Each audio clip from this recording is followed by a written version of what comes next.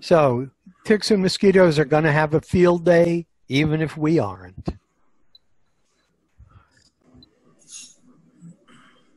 And it would be nice if. There we go. Okay, so uh, here is a list of the changes in field day rules, which I will now go through in detail. No, only kidding. What? Not bugs again. I will not tell you who said that when I gave this talk four years ago. And the reason that there are bugs again is that the ticks are spreading and the geography of Lyme disease, which started in Connecticut, is spreading south. And we've got a load of Lyme disease in Virginia. We've always had a problem with other tick-borne illnesses like Rocky Mountain spotted fever, tularemia, or ehrlichiosis, which are uh, indeed less common, but uh, I've treated patients for all of them. Uh, mosquitoes are also a problem, and Zika, dengue, and chikungunya. Hello? My uh, particular favorite in terms of names of diseases are uh, Latin American. They are spreading south. They are being transmitted by mosquitoes in Florida and in Texas, and they're heading south. Uh, they're heading north. We have always had a problem in Virginia with West Nile. Uh, about 95% of people who get that are asymptomatic, but there are some uh, mosquito borne diseases that can screw up your brain. So, all the important points are on a one pager on the website, and Zoom makes it easy to leave surreptitiously. Feel free, feel free to do so. I think that's Don who isn't muting. Yeah, Don, Don, you need to mute yourself. You're coming over. Yeah, I just muted him. Okay. So uh, the reason we're doing this now is that reported cases of tick-borne disease in the United States have doubled between 2004 and 2016. I think that's real. I don't think that's just more recognition. Uh, rising global temperatures have an effect on the distribution of ticks. And also, when it's warmer, they stay active for a longer period of time. Also, we're contributing because there are increases in commerce and travel. And we'll see about some new ticks that have just joined us because of that. Um, also, there has been recolonization of historical habitats that had been eliminated through deforestation. And the ticks are back along with their uh, close friends. I'll show you a picture in a moment. Here are the common Virginia ticks. The Lone Star tick, so called because of the white spot, which is only present in females. The black leg tick, which I've marked because that's the one that spreads Lyme. And the thing that's uh, characteristic is that all stages of that tick have black legs, which you can see are not present on our other friends, and the American dog tick. So the Lone Star tick is the most common. Uh, it spreads some Rocky Mountain spotted fever and ehrlichiosis. Uh, very interesting and, and relatively newly recognized is that the bite can cause a delayed allergy. Uh, the saliva of the tick contains galactose alpha 1 3 galactose. We'll have a test on this at the end of the session. And uh, that particular carbohydrate antigen is present in all mammalian meat. More on this in a moment. The dog tick, only the female bites, but it spreads right. It's the major spreader of Rocky Mountain spotted fever and anaplasmosis. And the black leg tick, otherwise known as the deer tick, spreads Lyme disease. So be aware of the color of the legs on ticks that you may run into. Whoops. Now let me see if I can go back here. There we go. So these are small uh, ticks, and the black leg tick, it's actually the lymph, the lymph, God, the nymph that does most of the biting, and that's a tiny little critter. This is an inch down here. The Lone Star tick, the male has a fairly distinctive uh, coloration on its back and the dog tick. So be aware of small ticks. This guy has been also called a seed tick. And I tried to protect the uh, anonymity of the white-footed mouse, but the white-footed mouse is the major uh, transmitter and host that spreads the disease to ticks. And one of the reasons we're having more Lyme disease in central Virginia is that the white-footed mouse has been deprived of some predators and so can spend more time out foraging for food and getting ticks on it. Now, a newcomer. This uh, tick was only identified here a couple of years ago, Haemaphysalis longicornis, otherwise known as the longhorn tick. And it started north, but you can see on this map that we've got plenty of cases in central Virginia. So the Asian longhorn tick was found in numbers in the hundreds on a sheep in New Jersey in 2017.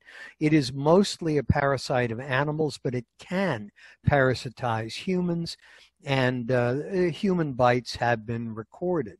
Interestingly, and this may be true for many of us, the females can reproduce without uh, male input of parthenogenesis, which is why the numbers of these ticks is going to expand uh, very rapidly.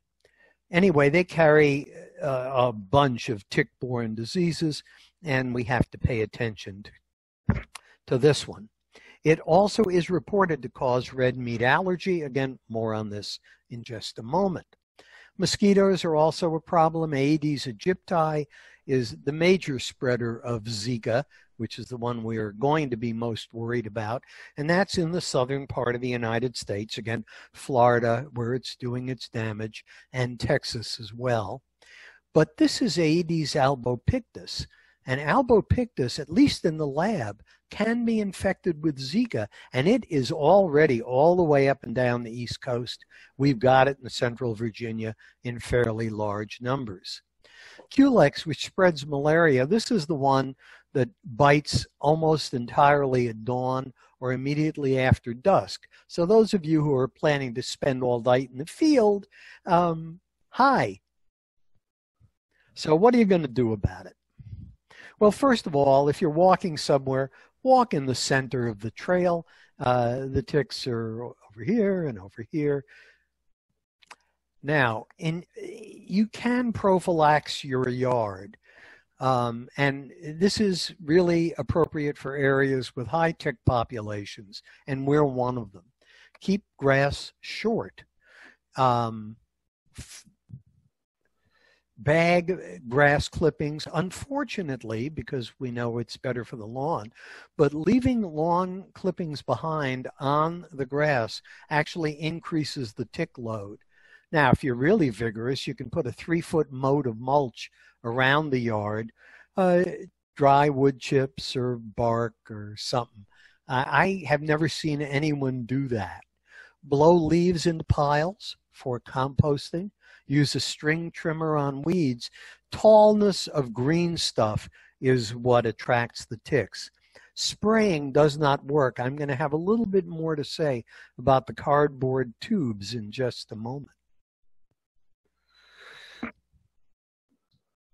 Let's try that again. Okay, so if you're a Class A or Class B operator and you're going to set up in your yard, don't do it in tall grass, not near leaf piles, not near wood piles, not near flower beds, not near brush, not near shrubs, not near wooded areas. And I pass this on. You can surround your station with a moat of wood chips or gravel. Yeah. Now, these tick tubes are interesting, and although I'd read about them, I learned a lot more about them from Mike McPherson just recently. They're, they're paper tubes, and they've got cotton inside, which is uh, soaked with permethrin, which I will have more to say about in a moment. And the cotton is gathered by mice, the white-footed mouse in particular, taken back to the nests. The permethrin then rubs off on all the mice. Permethrin, as we'll see in a moment, is an insecticide, not a repellent. And if you use 12 tubes for 14 acres, uh, any of us have 14 acres, uh, or areas with limbs or trash or bird feeders or flowers, do this once a year. And this has been shown to reduce the tick population in many areas. So if you want more information about it, Mike McPherson has indeed used these uh, to good effect. So uh, how to dress, uh, long sleeve shirts and long pants, right? I know it's hot. Bug repellent on clothing, uh, light colored clothing, tuck pants into socks or boots. And what happens is the ticks start on your shoes and crawl up. And if you have put insecticide on your clothing, which I will recommend, then they have to work a lot harder to get to your groin, which is what they're really aiming at. And as they crawl on your clothing, they are more exposed to the insecticide permethrin. And by the way, if your shirt's tucked in, they have to work even harder. So permethrin, which has come up several times, it's a synthetic version of a chrysanthemum. It is an insecticide more than a repellent. And does it work fast enough to prevent bites? Yeah, if you've got all everything tucked into everything else. Permethrin sprayed clothing is probably not as effective as DEET sprayed clothing. On the other hand, it's not DEET. Now, you can get uh, commercially available clothing that has uh, permethrin built in, said to uh, last through 60 washings. And the I bought a hat, well, a really weird hat, and it was uh, billed as including permethrin as a repellent. This was false advertising. It's a uh, an insecticide, and the only thing the hat has ever repelled is my wife Margie anyway, uh, there is resistance to permethrin among repeat, uh, mosquitoes in some regions, not so much for us. Okay, repellents. DEET is still the king of the repellents. It is really the best bet, and it is far less toxic than it was originally billed to be. It can be a topical irritant. You're going to put it on your skin, and for some people, it does produce a rash, which can be avoided by stopping the use of DEET. So you apply it to uh, exposed skin. You can also apply it to clothing, um, although that is actually less effective in terms of the amount that you're applying. Picaridin, which is not DEET, Consumer Reports, and by the way, Consumer Reports just came out on this today. That's the July 2020 issue, uh, which is again an indication that this is an appropriate time to discuss this, uh, is said to be almost, uh, let me say almost equal to DEET in repelling ticks and mosquitoes. And the one that's recommended is Sawyer's Fisherman's Formula Picaridin. Uh, the most recent Consumer Reports says, and I have not yet had a chance to look at their data, that it works better in spray form than as a wipe. So picaridin is probably almost as good as DEET. Used to be very difficult to come by in Charlottesville. Now it's, it's quite widely available. Lemon eucalyptus, less effective against ticks than against mosquitoes. Uh, and uh, there, I, I have no um, conflicts of interest to declare, but they recommend a few of these uh, brands. Now, afterwards is where it gets entertaining. Remove clothing promptly. Not that promptly. We don't want Romanko taking off his clothes in public. Uh, do a careful tick check. Uh, this can be more fun and is vastly more effective if you've got somebody to help you. Look carefully at places where skin is oppressed to skin. Remember the scalp. Um, and again, that's based on cases that I've seen. Launder clothing, when you do that, you want to go through the high heat drying cycle because actually washing the clothing just alone, washing alone will not kill ticks reliably. Bathe within two hours, and for some of us that's really important. And then gentle removal. Don't ever squish a tick. Uh, I myself treated a case of ocular tularemia, where the tick was squished and uh, squirted its uh, contents, shall we say, into the patient's eye. And then if you've got a tick bite and it's a little red, it's a good idea to circle it with a ballpoint pen and then follow it daily. And here are the places that uh, you really want to check carefully in and around the hair, in and around the ears. I will spare you some very entertaining photographs of ticks in people's ears, under the arms, inside the belly button, between the legs and the backs of the knees. Uh, doesn't work so well if you're trying to do it all by, by yourself. Um, Brad Paisley had a song about ticks that uh, Terry told me about. I'd like to see you out in the moonlight. I'd like to kiss you way back in the sticks. I'd like to walk you through a field of wildflowers. And I'd like to check you for ticks, and you never know where they might be, and blah, blah, blah.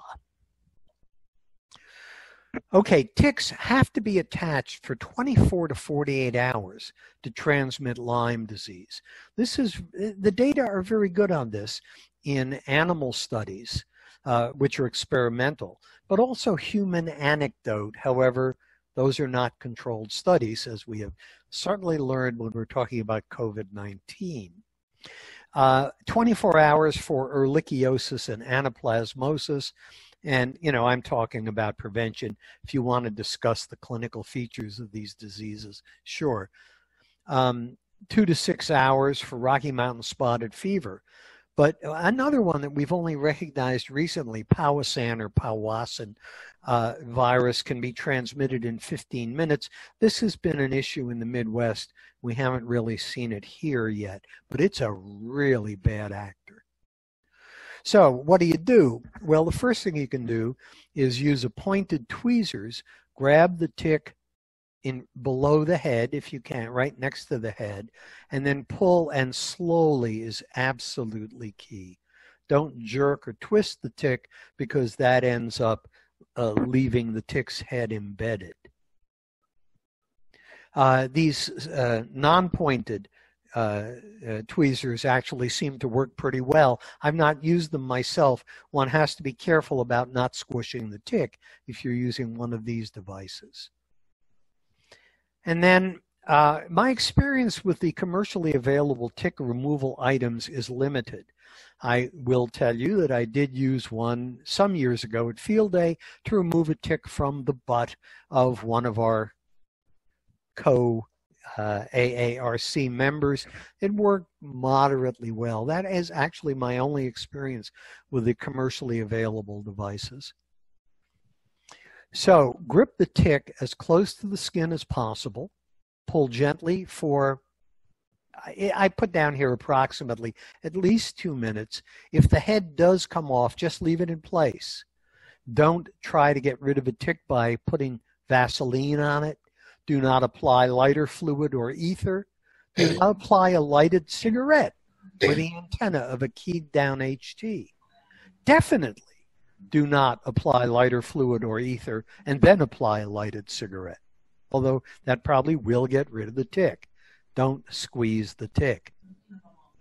And it, it ain't easy. If you look up the phrase tight as a tick, extremely close with one's money. If you have ever tried to separate a tick from an animal or some person's skin, you know what tight is. oh, there we go. And uh, The Tick, a short lived TV series. Avoid this as well. I watched half an episode. Now, another thing that's new but not in town is the so called murder hornet uh, Vespa mandarina, Vespa mandarinia, the giant Asian hornet. So this is actually fairly common in Japan. They've isolated it twice in Washington State. Uh, it's actually used as food in Japan. Uh, it is helpful in eliminating pests, but it is a possible threat to honeybee colonies. Uh, it's not aggressive unless it's annoyed. It has a really long stinger and it can sting through clothing, which most of our regular mosquitoes cannot. And the reason it, I mean, the reason it's called the murder hornet is some people are highly allergic. And if they are highly allergic, this can be lethal. Uh, they're about two inches long. So I, I wanted to mention a little bit more about the delayed red meat allergy. All mammals have uh, galactose 1,3 alpha galactose in their tissue. This is not destroyed by heating. If one gets a bite with a tick who injects uh, alpha gal, as it's called for short, in the um, into you, and you happen to have the appropriate genetic make. Just on the phone, yeah. On the cell phone, yeah.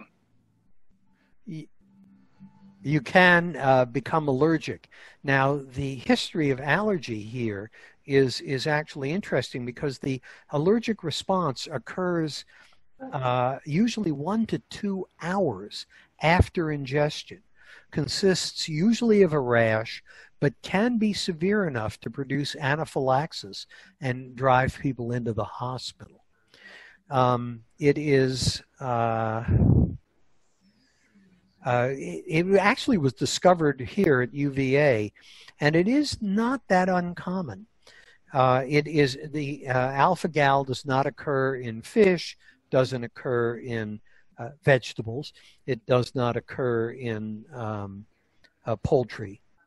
So uh, just be aware of it. It it apparently in patients who've been followed over time, it does tend to resolve. It is treated as other allergic responses. Okay, anyway, don't confuse ticks with chiggers. Uh, chiggers, though very annoying, have not yet been shown to spread disease. Uh, and this is probably the single most important thing I want to say to you. Take seriously any fever, persistent fever, in Virginia without another explanation in the summertime, either with or without a rash or a history of tick bite. Now, that condition of a persistent fever in central Virginia in the summertime, we used to refer to as doxycycline deficiency disease because there are a number of tick-borne diseases that we've just discussed which present with fever sometimes with sometimes without a rash. In rocky mountain spotted fever the rash actually occurs considerably later than the fever. So pay attention to this and uh, consult, uh, consult medical attention uh, if you are subject to it. Uh, the treatment is doxycycline. Please remember that doxycycline is a photosensitizer, so if you're going back out in the sun, uh, do be careful. Michael, we have uh, two questions from Warren, and we'll take Warren first and then Bob Romanko. Hello, Mike. I have a question sure. about uh, permethrin. Yes. Uh, uh, the U.S. Army uh, has used permethrin and uh, doused all the clothing, their uh, mm-hmm. camos and whatnot, right. in that, especially over in the Mid East, to counteract leptospirosis in particular. But I believe that in doing so, they found out that they were uh, some of those people who had to wear those uh, uniforms that were allergic to permethrin. Is that a common occurrence? Uh, I, so I'm, should yeah. we worry about that when you're when spreading permethrin all around the yard and whatnot? Well, I'm, I don't. Uh, I have not seen a case. That's all I can say. Um, there's no question that there can be allergic reactions to anything and uh, I that's it's very interesting that it was used widespread. Uh, lepto is an. You sure it was lepto they were worried about?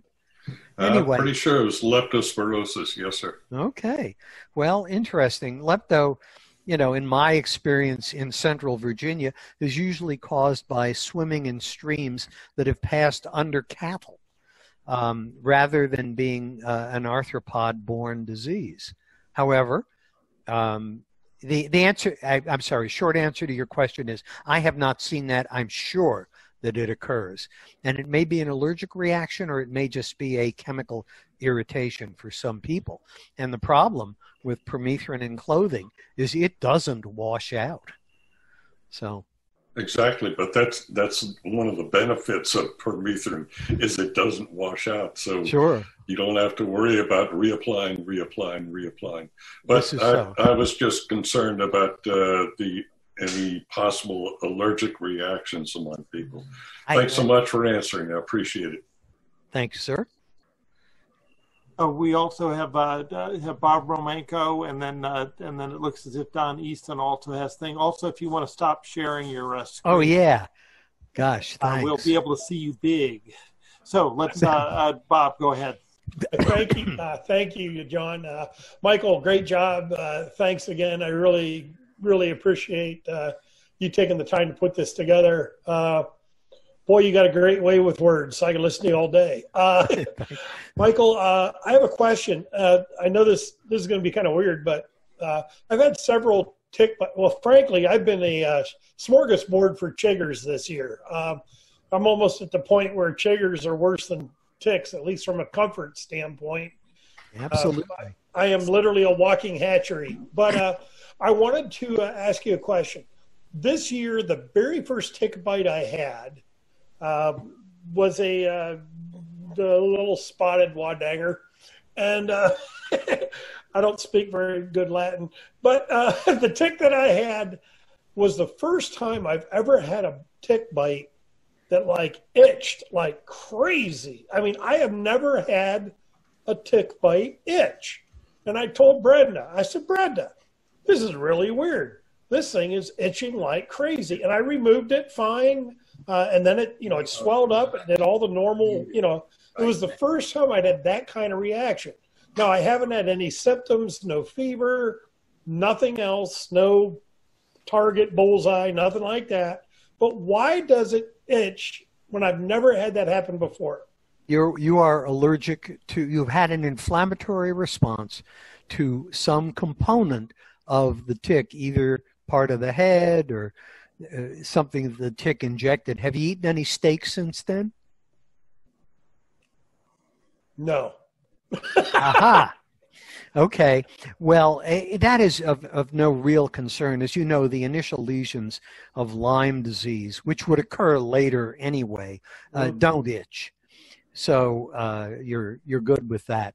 But uh, gee, an, a, a, local allergic reaction to a tick bite that's nothing. And steroids, okay. you know, steroids are very good for that kind of thing. Um, and you're doing it right by keeping an eye on it. But uh, I'd be a little more concerned about this weird red meat allergy in that setting. Okay. Well, like I said, I had, I've obviously with COVID, I think we've all been sensitive to whether we have a fever or not. Yeah. So uh, I can tell you that, yeah, I've had no fever or anything like that. But uh, I just I just noticed that uh, you know it was just very very strange for me to have a such an itchy. You know, I've never ever had that happen with a tick bite. Uh, well, congratulations. and the uh, the other thing I wanted to ask you is DEET on clothing. I mean, I, yeah. you we one thing I I didn't want to really ask, but I wanted to mention it is you have to be careful with DEET on synthetics because it will actually you know, I had a, a, a Boy Scout who had a really nice pair of uh, nylon blend pants of some sort, and he he sprayed DEET, and you could literally watch his. Uh, well, I forget what the blend was, but you could literally watch it melt around his ankles. so, uh, you know, thank you for saying that. That's actually important. And I, you know, have tried to present stuff that I've read that I see documented and so forth. And I have to tell you that my own recommendation is DEET on skin yeah. permethrin. Ugh, sorry, Warren, but permethrin on clothing. Right. That's or, what or, that's what we do. Yeah. Yeah. I, I, that's the way I do it. But there are people who use recommend uh, DEET on clothing as well. Well, 100% DEET really melts plastic. Oh and, no! Uh, it's a great no. way to clean up a coax connector. Uh, if you've got a bunch of rubber uh, tape around it, is you can get some Ben's 100% DEET and spray it on that electrical tape. You wait a little bit, that puppy will you'll have a cleanest connector you ever saw. okay, I'm impressed. uh, we have uh, have I, I, guess a question from uh, I think Don, and then uh, uh, uh, Ed had had raised his hand and lowered it, so I'll assume nope. he got his question answered.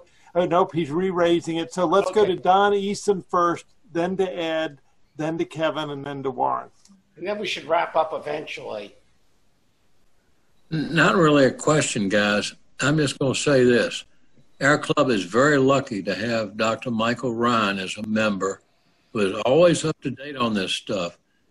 And while some might say, well, we hear this every year, it changes a little bit every year because it's up to date. And, well, you know, you can't put a value on that until somebody has trouble. And he said, helps them. I'm well, done. Don, you're Stay healthy, Michael. Thank you, sir, and you're very kind. Actually, I looked this up because uh, the last time I gave this talk was in 2016. So that was four years ago. May sound like I'm doing it every year, but what can I say? No, we're going to make you do it every year. okay. Michael, you've been updating your one pager every year.